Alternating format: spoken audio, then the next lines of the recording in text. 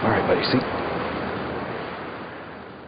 I'm, I'm Ned Heasty. I'm a uh, deputy sheriff with Sacramento County Sheriff's Department. This is my partner Tyson, and uh, we're assigned out here at the Airport Division. And our job is to detect explosives. What we do when we come to work is search cargo that's going on domestic aircraft, whether it be containerized or just going up into the into luggage compartments. We uh, will work at the checkpoint and search carry-on baggage that people are carrying through the checkpoint and their and some of their personal items, strollers and that type of thing. Sometimes we search checked baggage that's going into the aircraft. Burritos. Burritos? Oh, see. He's interested. Yeah. interested. He shouldn't mess around with the food too much.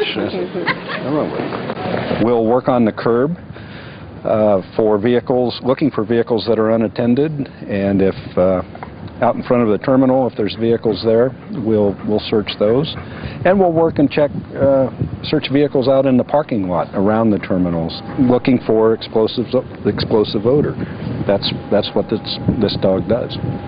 When when I first joined the canine unit, uh, I had to make a three-year commitment, and that was back in 2002. And I had planned on retiring about 2005 after working with a dog for, for three years. Before I knew it, the three years were up, and uh, I realized if I retired, Tyson still would be working he, because he belongs to TSA, and uh, that they would take him back to Lackland Air Force Base, and he would end up with another handler someplace, which would have been good for him because the dog Tyson loves to work. Uh, but I was having so much fun and uh, would have had a hard time uh, letting Tyson, you know, just leaving him, being, letting him go back to Lackland, and decided that I would work another three years, figuring that by that time he might be coming to the end of his his career. Hi, Ned. I thought I wasn't going to get Tyson anymore. Oh well, here for another another few days. Another few days. October Yep. 3rd, I hear? Yep, October 3rd. that's right. Yep. And then I'm not going to get to see you, big boy.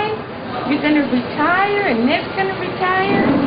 So that's what we've done. We've uh, we've worked, and sure enough, uh, he's he's come up with a little bit of arthritis, and it's getting a lot harder for him to work. And uh, I was hoping that we could go till till March uh, and retire then, but that that didn't work. He's uh, I don't think the dog can physically go that far, and the vet has said that he cannot go that far. So that's why we'll get to retire together here soon.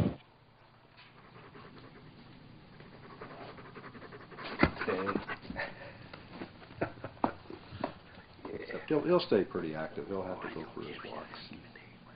He's he's a- pretty alert. He uh, he hopefully will get to retire, uh, and uh, he'll be here at home. He'll stay with us. I'll be able to adopt him.